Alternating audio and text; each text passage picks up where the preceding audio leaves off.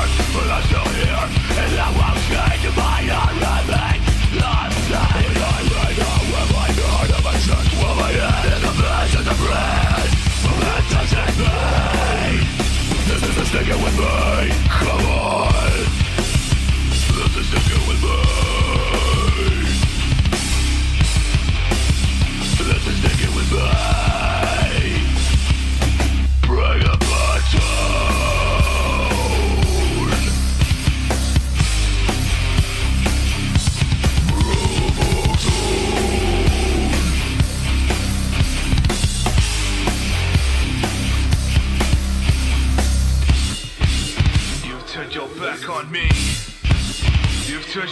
on me. You've turned your back on me.